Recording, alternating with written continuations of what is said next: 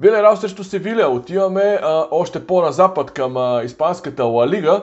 А, може би тук мнозина от вас ще посегнат към единицата, защото а, се струва и изглежда логична.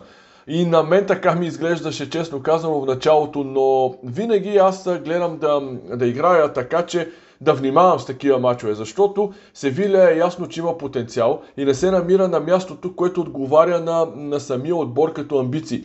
Така че бъдете внимателни с Севиля. Аз тук ще играя Хикс 2, двойния шанс е висок.